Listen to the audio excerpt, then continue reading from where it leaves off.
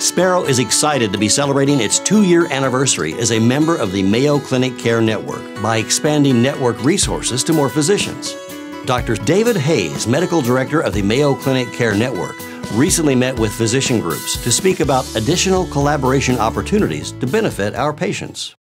Mayo Clinic and Sparrow have worked together in the Mayo Clinic Care Network for two years as of June of this year, and I think we've achieved a great deal together. The things that we're working on regarding uh, physician communication with patients and uh, research have been areas that we've had some of the most initial success with.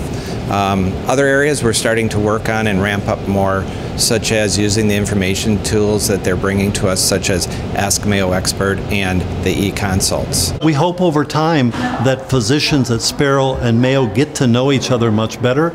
The success of this relationship is really all about physician engagement. Whether it's physician engagement or administrative engagement, we feel like we've gotten to know each other's quite well in the two years, but yet we think it's just the tip of the iceberg. We think that there's so much more that we could do together.